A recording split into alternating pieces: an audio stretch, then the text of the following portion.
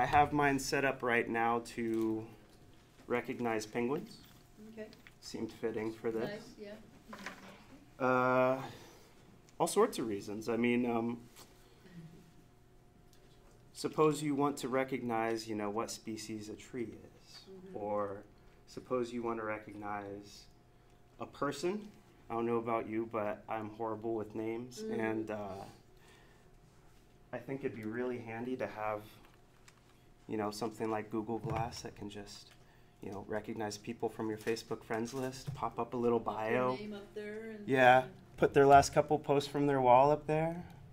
So you're like, oh, hey, John, how have you been? I see, you know, kids are growing. You know why I know this is uh, but it doesn't even have to be that sophisticated. So I have a little home security system that's just a camera. It's motion activated, but as you can imagine, there's lots of things that are in motion that I'm not interested in. Uh, cats, raccoons, leaves, rain. So I get a lot of false alarms, a lot of false emails. So I'm also training it to uh, recognize things that I'm interested in, you know, Mhm. people, burglars, unicorns. So you Uh, have like a white list on it that, Yeah, and that's that's a very simple binary classification. So let's see. How many people here are kind of familiar with Docker? I've heard of it, I've heard of it. I've heard of it. Yeah. Let's can't even see. see. Thank you. So uh, with Docker, you can you can um, essentially utilize a pre-trained container. Uh, part of the challenge with with building a competent uh, machine learning neural network is training it, and training a, a neural network takes a lot of data, a lot of time, a lot of resources. Uh, so to start with, we're going to essentially just use a pre-trained uh, algorithm, neural network, that's just sitting in a Docker container. So all we have to do is run it. Um, the container we're going to use is at gcr.io slash TensorFlow. And you can go there and actually check out the the code that's running in it. So uh, Google has already done the work of uh, taking this neural network and hammering it with all the resources at their disposal over two weeks, eight GPUs um, to get it to this point. And this neural network's already pre-designed. So the other the other challenge is architecting your own, your neural network. So you have the right number of layers that do the right things. So this is already going through and doing edge detection, you know, comparing contrast colors, all those things. So all you have to do is train the last thin little layer, which is really the least amount of work. So it's been trained to understand pictures. Yeah, pretty much. But does it under, does it go to people or is it effectively it knows what a picture is and knows what bits of pictures are, but doesn't understand what's in pictures? No, you have to tell it. So you're going to have to actually give it batches of data and then label those batches of data. So there's these hundred things, that's a unicorn. There's these hundred things, that's Tux, the, the penguin. Is it, Uh, is it a probability thing? Like it's a, like it's a high high probability that this most likely is a unicorn, so label it as a unicorn. What it actually does is it takes the image and breaks it into uh, a two dimensional matrix of the pixels, and then each of those cells adds an additional three dimensions for, for red, green, and blue. So you have this, this kind of five dimensional matrix of data. And um, it's actually using regression, it's, it's using gradient descent to compare uh, the new image to a bunch of weights that it's built on training data. So what we do is we seed this, this big matrix of weights with random data, and then we start piping in pictures of Tux the penguin, and it's going to start trying to map this, this five dimensional curve. Uh, I find it easier to just think about like uh, two dimensions to start with, so like a line, and then using linear regression. So if you've ever done like the scatter plot and trying to find the best fit line, Mhm. it's the exact same thing but with like five dimensions. So you're trying to map it, and then once you get that best fit, uh, you know, the y-intercept and the slope, those are your weights. And that's, that's the actual training data we store, and those weights represent, you know, what at the core is Tux the penguin or a unicorn. Yeah. So the technique you're using, are you, for the, let's say the, the example you gave of one to actually classify trees, right? Mm-hmm. Um, are you training a single model to try and weight across all the trees that you wanted to identify? Or are you doing an individual model for basically a yes or no for each type? And then applying all the models? Because you could potentially have multiple types of trees in one image, right? How Right. you- How'd you get that So- So what this actually does is allows you to list as many classifiers as you want, and then it will run through each of those independently, and it will take the results for that and run it through a sigmoid function. So you end up with uh, essentially a percentile weight for which which bucket it thinks it's in. Where Yeah. were the Docker containers you were mentioning? Ah, so uh, Well, you, you said gcr.io.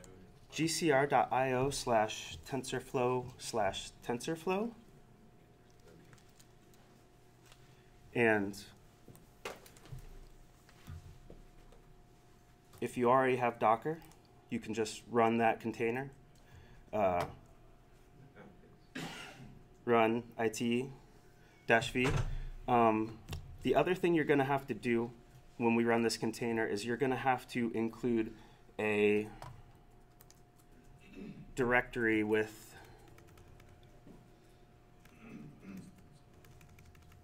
the images that you want to train on. So you're going to have to use the dash v flag and then uh,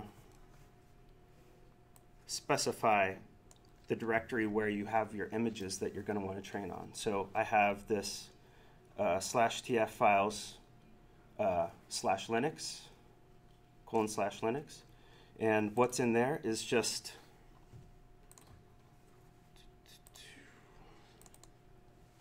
I have Android, Tux, and not Tux. So Android is well, just a handful of kind of Android pictures. Um, there's this extension, this Chrome extension that's really handy. So if you do like Tux, Linux, and an image search, um, there's this Chrome extension called FATKUN, F-A-T-K-U-N, uh, batch download. So you can go to uh, any page with images, and you can say, uh, open up all the images for this page, and then you can batch save every image on that page. And since this page paginates, if you scroll down, you can scroll down and then FATKUN it and get more. So it's a really quick and easy way uh, to get a bunch of, of sample images.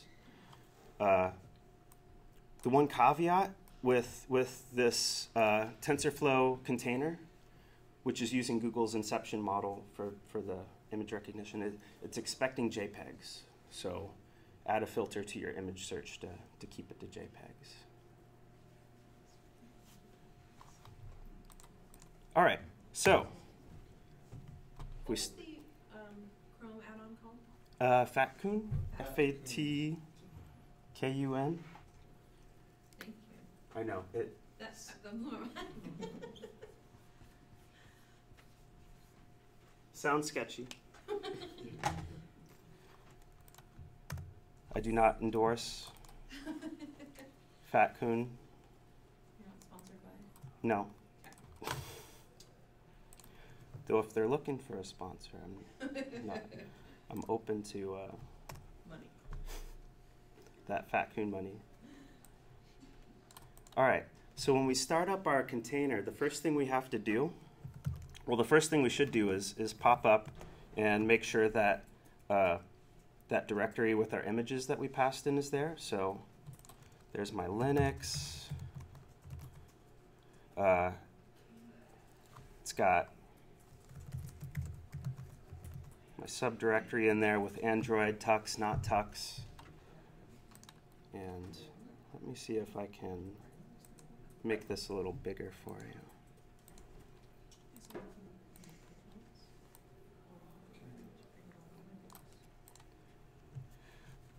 So, got all my Tux images in there. The next thing that we have to do is go into the TensorFlow directory. And what we're going to do is do a git pull. And what this is going to do is, is uh, pull in any of the latest uh, training data that Google's done. So we're up to date. Good to go. Now, we're going to take this massive command. And this is how we actually retrain on our images.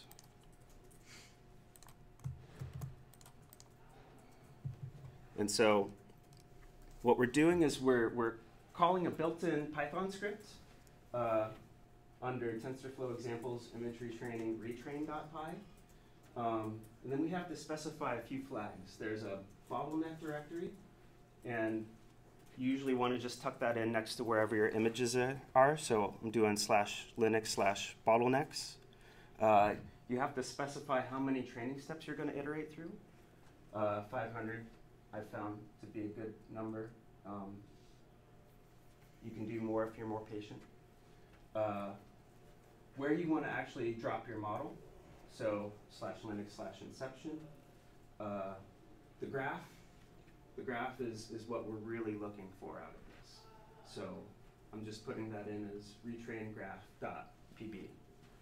Um, in addition to the graph, we need, we need the corresponding labels. So not just, you know, the weights that we associate with, with you know, a given classification, but what we call that classification. So that'll go into retrain labels.txt, which you know, we'll just say Android tux, not tux. And then lastly, of course, where the images are. So, if you got a minute,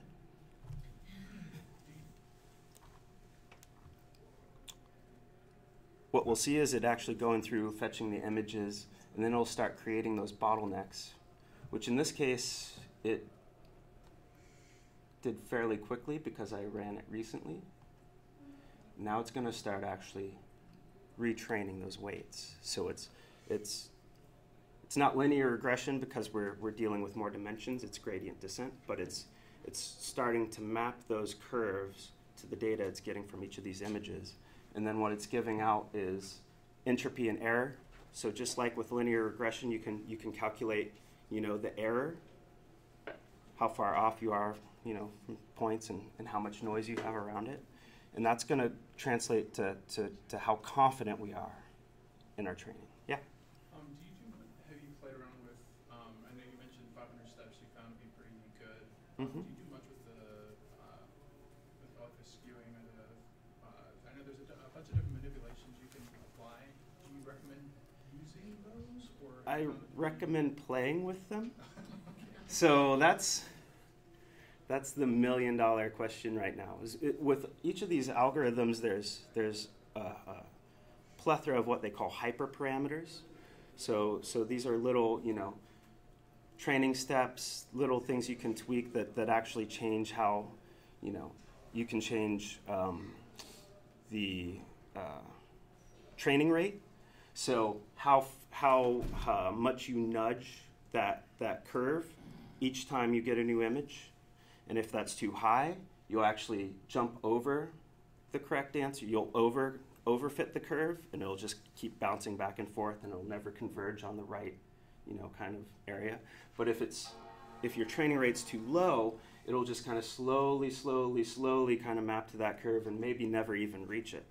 So there's all these little parameters that you kind of have to tweak to get it just right, and that's just Facebook's actually built an AI that trains AI to do just that stuff. It it tweaks parameters and then sees how it reacts.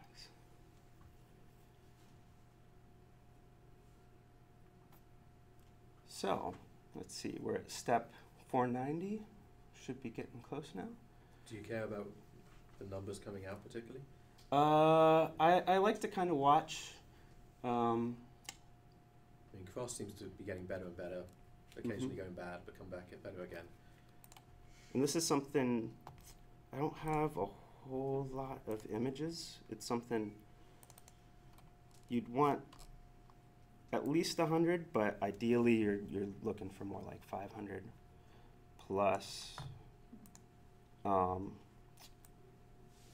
I'm sorry if any images come out that aren't. Uh, a weird, some weird people out there with penguins, but uh, I think I tried to filter most of that out. Uh, yeah, and there's there's this kind of saying, uh, you know, even if you have like the perfect model, your model's trained perfectly, uh, garbage in, garbage out. So if, if you're putting in, you know, uh, stuff like this, and you're telling it it's tux, you know, that's maybe not the best representative, like the best image to train on. So that that could probably come out.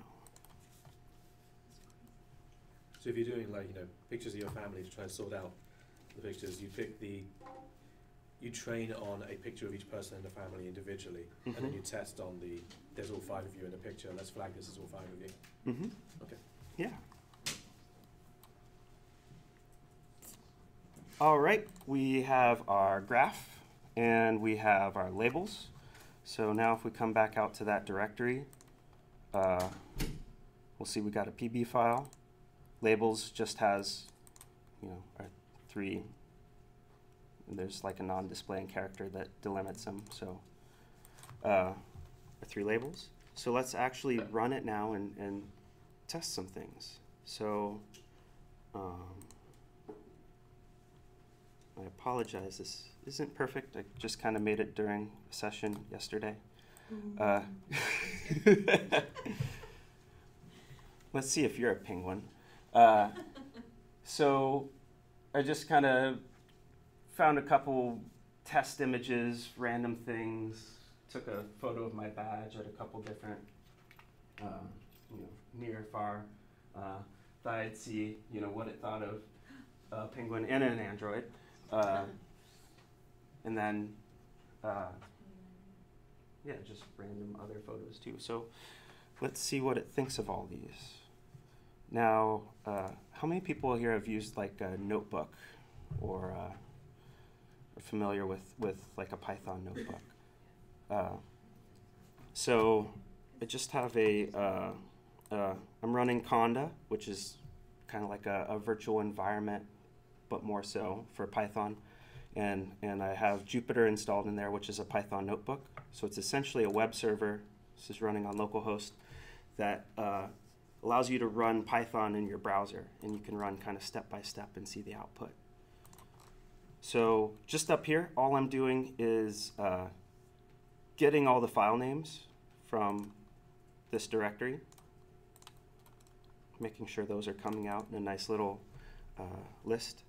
And then in here, what I had starting started playing with was was trying to get it to display each image alongside the result. Uh, but what it's doing is it's getting uh, it's instantiating TensorFlow.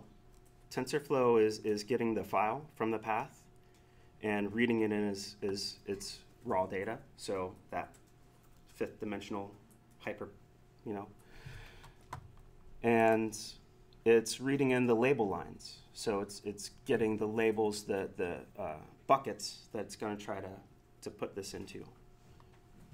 Uh, before you do any kind of testing, you have to start a uh, session. So we do a TensorFlow uh, session. Um, softmax is actually what's going to break it into you know those those weighted percentages. So it's either going to be like 80% tux, 20% not tux. It, it uh, forces everything to add up to one essentially. So we have a nice percentage output.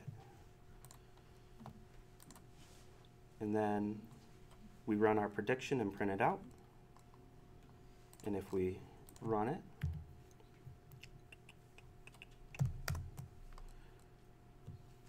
we should see it down here start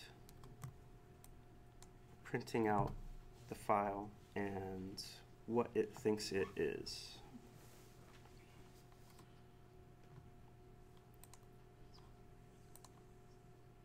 Potentially.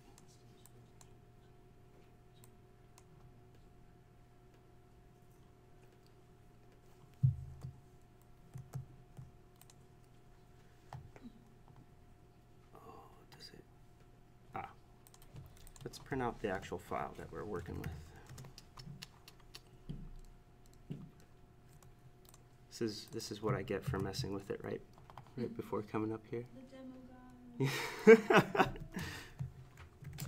Joke's on you. I didn't even prepare a demo. I'm just here because Greg isn't. All right, so I'll go ahead and restart this. This first triplet, though, should be the Android test.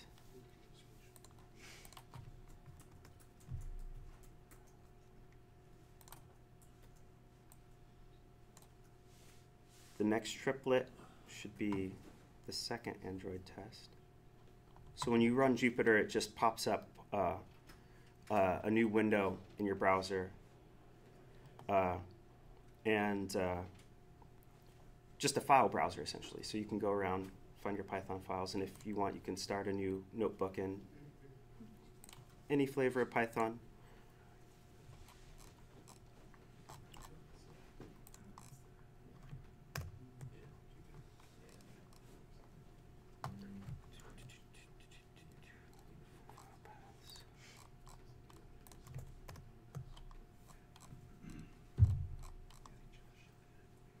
Just rerun this first one, I think. Yeah.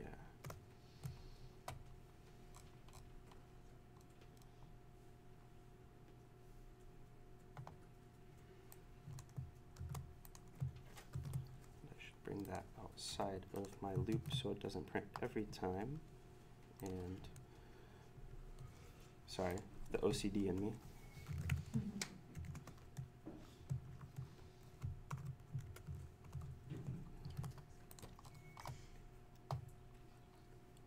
So it, it rolls through these first few files pretty fast, and then it, it, it gets to uh, some of the images that I that I'd taken from uh, my webcam on my book here, um, and those have a lot more data to them. So it's going to take it a lot more time to to uh, kind of compare it against these weights. Um, whenever you hear anyone talk about something being very data rich or, or has a rich data structure, that read that as uh, it's going to take a long time.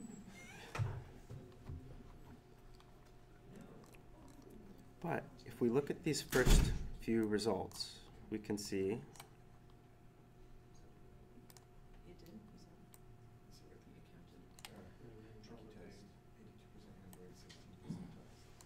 It sees this first Android test here, this image of, of kind of a bunch of, of Minecrafty blocks with, with kind of a silhouette of an Android. Uh, it's, uh, it's only 12% sure that it's an Android. It kind of thinks it might even be Tux.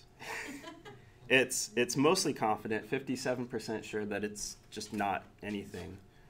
So, How did you train not anything? Is that just random pictures? yep, So it just thinks it's a random picture. Oh, because it's compared to the other two, it's splitting it out from one. I see. And that's that's actually probably where the most improvement could be made is is by giving it kind of everything else. In addition to confidence on Android. But if we look at Android test 2, where it's a pretty clear-cut picture of, of an Android holding a wrench, it's 96% confident that that's Android. 2% sure that it might be Tux. So I feel like I've maybe overtrained it on Tux. You know, I have hundreds of images of Tux and, and like 10 of the Android, so it'd probably be more of a split if I gave it more training data on, on the Android side of things, but it thinks this is 40% Tux, but it's pretty confused by what else is going on around what it clearly sees as a penguin. No, it's not. What image is that? Oh, tricky test? Am I? Yeah. You're on the wrong one, I guess. Oh, oh, never mind. My mistake. Oh, what image is that? Uh oh. Hope that's not a. so yeah, okay. So that is a little better. So so it's saying this is 82% Android and 16% Tux, which That did a lot better. a- actually is an improvement over yesterday. Added a lot more Tux pictures. Yeah. And then. what you're saying makes sense though, like overtraining it, right? hmm It'll if it if it's way more familiar with what a penguin looks like than an android, then it's going to say, "Oh, well, I'm way more sure that this is." So would it also be correct to say that it's looking for tux and trying to find tux where there is no tux because it, it's so familiar with what tux looks like? Because it's overtrained. It's going to get a larger result from the tux classifier if the tux classifier is better trained. So what it's going doing is, is it's going through each classifier individually and it's saying, okay, how close is this to what I understand to be an android, given the weights I've the curve that I've drawn for that? How close is this to being, you know, tux? And how close is this to being, you know, anything else?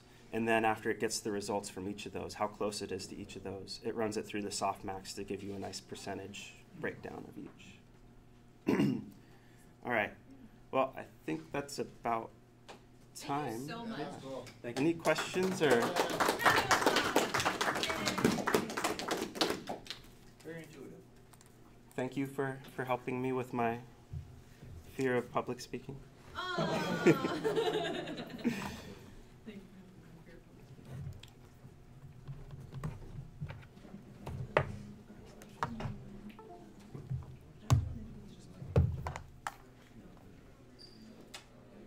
This is new, this is brand new, this is brand new. Yes, it's, it's. yes, it's quick. And so, and so what we'll do is right now have it open here. Just like, yeah, no, just straight. Okay.